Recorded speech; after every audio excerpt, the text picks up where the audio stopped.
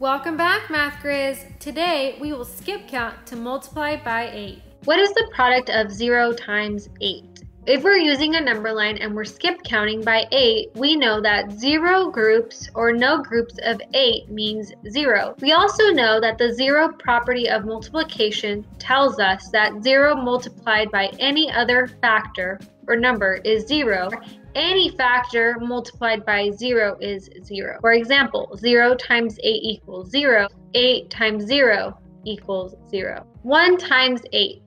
We need one octopus with 8 legs. How many legs do we have in all? Let's go ahead and look at a number line. We know 0 times 8 is 0. If we add 8 more, we know we have 8. So 1 times 8 equals 8.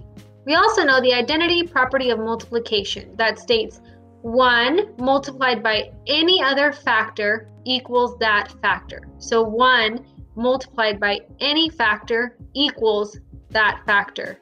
2 times 8, we have 2 octopus with 8 legs each. How many legs do we have? Let's look.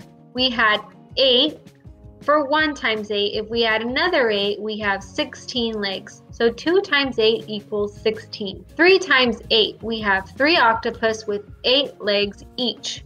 How many legs will we have? Let's skip count. So far we're at 16. If we add another 8, we get 24. So 3 times 8 equals 24. 4 times 8, we have 4 octopus with 8 legs each. Let's skip count or use a number line to figure out the product. So far we are at 24. If we add 8 more to 24, we get 32. So 4 times 8 equals 32. 5 times 8 means 5 octopus with 8 legs each. How many legs will there be in all? Let's go ahead and skip count. So far we are at 32. If we add 8 more to 32, we get 40. 5 times 8 equals 40. 6 times 8, we need 6 octopus with 8 legs each. Let's go ahead and skip count. So far, we were at 40.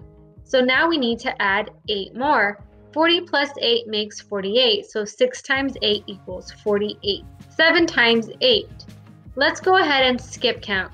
So far, we're at 48. Let's add 8 more. 48 plus 8 more is 56. 7 times 8 equals 56. 8 times 8. We have 8 octopus with 8 legs each. Let's go ahead and skip count. We're at 56 and we need to add 8 more. Now we're at 64. So 8 times 8 equals 64. 9 times 8. Let's go ahead and skip count. 8, 16, 24, 32, 40, 48, 56, 64, and let's add 8 more, we get 72. 10 times 8. We already know that 9 times 8 is 72. If we add 8 more, we get 80. 11 times 8. We know that 10 times 8 is 80, so let's add 8 more, and we get 88. 12 times 8. Let's go ahead and skip count. 8, 16, 24, 32, 40, 48, 56, 64, 72, 80, 88. Let's add 8 more and we get 96. 12 times 8 equals 96.